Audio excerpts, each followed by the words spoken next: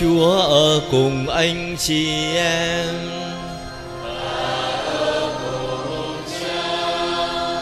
Tin mừng Chúa Giêsu Kitô theo Thánh Gioan.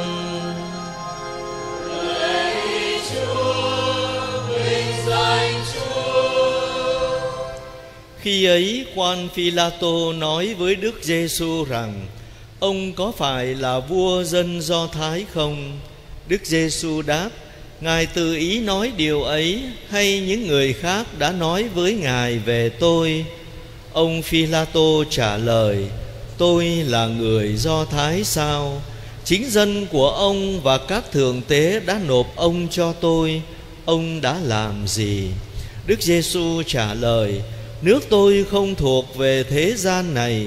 Nếu nước tôi thuộc về thế gian này Thuộc hạ của tôi đã chiến đấu Không để tôi bị nộp cho người Do Thái. Nhưng thật ra nước tôi không thuộc chốn này. Ông Phi-la-tô liền hỏi, Vậy ông là vua sao? Đức Giêsu đáp, Chính Ngài nói rằng tôi là vua. Tôi đã sinh ra và đã đến thế gian nhằm mục đích này, Làm chứng cho sự thật. Ai đứng về phía sự thật? Thì nghe tiếng tôi. Đó là lời Chúa.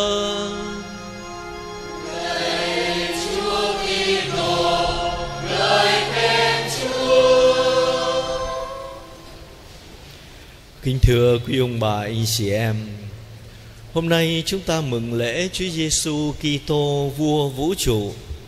Cái từ vua đây xem ra có thể nói diễn tả một quyền năng tuyệt đối. Tất nhiên ta biết rằng thời phong kiến Thì một vị vua có quyền năng gần như là tuyệt đối vậy. Ông muốn à, giết ai thì giết ông muốn bắt người này ông muốn tống ngục người kia vân vân. Rồi ông có quyền để làm tất cả mọi sự. Nhưng mà xem ra cái từ ngữ mà áp dụng cho trần gian đó chúng ta chỉ có thể áp dụng một cách gọi là theo nghĩa tương đối loại suy đối với Chúa Giêsu mà thôi.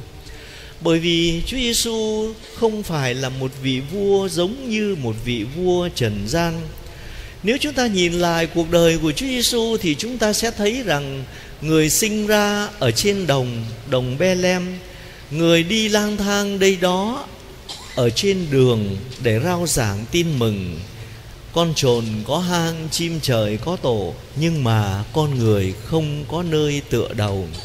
Rồi người chết ở trên đồi, đó là đồi Canvario mà giữa hai tên trộm cướp rõ ràng chẳng có cái vẻ quyền uy giống như một vị vua trần thế rồi ngày hôm nay chúng ta lại được nghe đoạn tin mừng của thánh Gioan về cuộc chạm trán ta tạm gọi như vậy giữa quan phi la tô một người đại diện cho quyền lực của la mã, mà lúc bấy giờ là số một.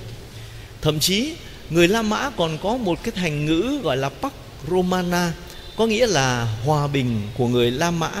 Có nghĩa rằng họ tự hào họ đi đến đâu thì họ sẽ bình định hết, họ sẽ cai trị, họ sẽ làm cho mọi chuyện tạm gọi là tốt đẹp theo như ý của họ đối với tất cả các dân bị trị.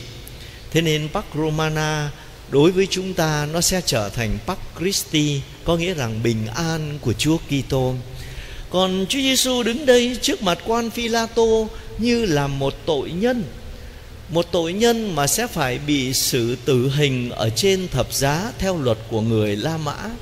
Đấy, cho chúng ta thấy được một cảnh đối nghịch hoàn toàn giữa một vị vua trần gian mà một vị vua mà chúng ta mừng kính hôm nay. Chúng ta có thể nói Chúa Giêsu là người thống lãnh. Chúng ta có thể nói Đức Giêsu là người điều hành tuyệt đối hay dùng một từ ngữ nào đó cũng được. Nhưng mà thôi thì cứ chấp nhận cái từ ta gọi là vua để mà nói về Chúa Giêsu là vua vũ trụ, vua lịch sử, vua nhân loại, vua thời gian, vua tất cả mọi sự và quyền năng tuyệt đối của người trên tất cả mọi sự. Hôm nay Chúa Giêsu cho chúng ta thấy ai mà đứng về phía sự thật thì nghe tiếng tôi. Và tôi đến trong trần gian này nhằm một mục đích, đó là làm chứng cho sự thật. Rõ ràng rằng đây chính là vương quốc của sự thật mà một sự thật lớn lao nhất, đó chính là thiên chúa đã yêu thương thế gian đến nỗi đã ban con một. Để những ai tin vào con của người thì khỏi phải chết, nhưng được sống muôn đời. Và để thế gian nhờ con của người mà được cứu độ, thánh gioan đã cho chúng ta biết một sự thật lớn lao, một sự thật mà quyết định thân phận của nhân loại cũng như của chúng ta, đó là thiên chúa yêu thương chúng ta đến độ sai con của người đến trong trần gian này. Rồi chính sự thật này, thánh gioan cũng nói tiếp là sẽ giải thoát chúng ta. Có nghĩa rằng chúng ta nhìn nhận rằng thiên chúa sẽ là chủ đời sống của chúng ta và chúng ta bước trên con đường sự thật, đi theo sự thật, đứng về phía sự thật để trở thành người con dân ở trong vương quốc chân lý của người. Rồi, Đức Giêsu không có chinh phục người ta bằng quyền lực, bằng súng ống, bằng bất kỳ một thứ gì mà trần gian này cho là mạnh mẽ. Nhưng mà người chinh phục tất cả mọi người bằng tình yêu, để mà dẫn mọi người đến cái vương quốc công chính bình an và hoan lạc trong thánh thần rồi một tiêu chuẩn của tình yêu và cũng là cái tận cùng của sự thật, đó chính là không có tình yêu nào cao quý hơn tình yêu của người hy sinh tính mạng vì bạn hữu của mình rõ ràng, chúng ta thấy cái tận cùng của chân lý mà Chúa Giêsu nói, tôi đến trong trần gian này để làm chứng cho sự thật. Tôi đến trong trần gian này để cho mọi người biết rằng Thiên Chúa yêu thương con người. Từ ngày Adam Eva phạm tội thì cửa trời đóng lại. Nhưng mà nhờ Chúa Giêsu thì cửa trời mở ra và con Thiên Chúa đi vào trong trần gian này nói cho chúng ta biết về Thiên Chúa, về tình yêu của người, về ơn cứu độ, về sự sống trong bình an, trong công chính và trong hoan lạc, trong ơn của Thánh Thần. Chính vì như vậy, tận cùng của sự thật đó chính là cái chết thập giá của Chúa Giêsu để mà tỏ bày Thiên Chúa luôn trung tín với chúng ta. Từ trung tín ở đây ở trong Kinh Thánh thì theo nghĩa rằng Ngài là đứng công chính Trong lịch sử ân cứu độ cho chúng ta thấy Một vị Thiên Chúa đã hứa thì làm. Có thể dân Chúa tưởng rằng Ngài quên lời hứa, Nhưng mà không, Chúa vẫn tiếp tục Có thể qua những gian nan thử thách Để mà hoàn tất lời hứa của người.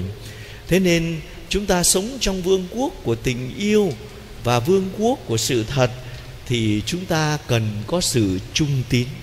Trung tín trong cam kết của bí tích rửa tội trung tín trong cam kết của bí tích hôn nhân, trung tín trong chính đời sống của mình. Để sao vậy? Để trước trước hết chúng ta có được niềm vui, bình an và hạnh phúc của người con cái thiên chúa, của một người dân trong vương quốc của thiên chúa. Kính thưa quý ông bà, anh chị em Chúa Nhật cuối cùng của năm phụng vụ dường như hướng cái nhìn của chúng ta về tương lai ít là chúng ta ở ngưỡng cửa của một năm mới. Nhưng mà càng hướng nhìn về tương lai, thì hẳn niềm hy vọng của chúng ta phải được mạnh mẽ hơn, được dồi dào hơn. Và để sao vậy? Và để cho tình yêu và ân sủng của thiên chúa tràn ngập tâm hồn chúng ta, và chắc chắn chúng ta sẽ được sống ở trong vương quốc chân lý và tình yêu của người. Lạy Chúa Giêsu là vua muôn loài trên trời dưới đất. Chúa là vua trong vương quốc của sự thật và vương quốc của tình yêu. Xin Chúa làm vua tâm hồn của chúng con để dạy cho chúng con biết sống trung tín trong cam kết bí tích rửa tội, bí tích hôn nhân để chúng con biết sống trong tình yêu theo chân lý để xứng đáng là thành viên, là con dân trong vương quốc của người. Xin chúa chúc lành cho chúng con để hiểu lời chúa hôm nay.